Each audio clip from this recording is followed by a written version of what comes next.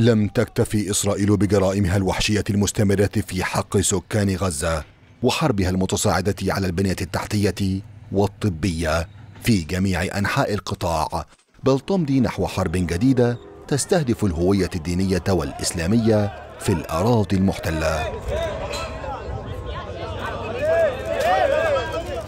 رئيس حكومة الاحتلال بنيامين نتنياهو أعلن فرض قيود على وصول المصلين إلى المسجد الأقصى خلال شهر رمضان استجابة لمطالب وزير الأمن المتطرف إتمار بن غفير ووفقا لتقارير إعلامية إسرائيلية.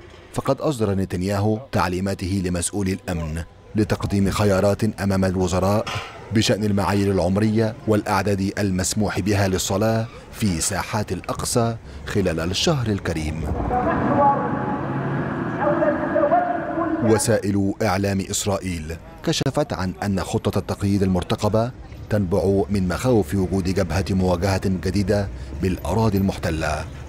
بن خفير اقترح على نتنياهو ألا يتم السماح لسكان الضفة بدخول المسجد الأقصى إطلاقا والسماح فقط لمن أكبر من سبعين عاما فيما فوق بالنسبة لعرب إسرائيل ومنع كل منهم دون ذلك العمر. بينما كشفت صحيفة معاريف عن وجود انقسام داخل حكومة الاحتلال حول إدارة ملف المسجد في رمضان. ويبدو أن كلمة الأقصى باتت تمثل رعبا حقيقيا لأجهزة الاحتلال الإسرائيلي. فقد اعتبر مسؤول جهاز الأمن العام الإسرائيلي أن الفصائل الفلسطينية لم تطلق اسم طوفان الأقصى على عملية السابع من أكتوبر صدفة بل قد ينذر ذلك بعملية أكبر خلال رمضان المقبل. دعوات إلى شد الرحال إلى المسجد الأقصى والمرابطة فيه.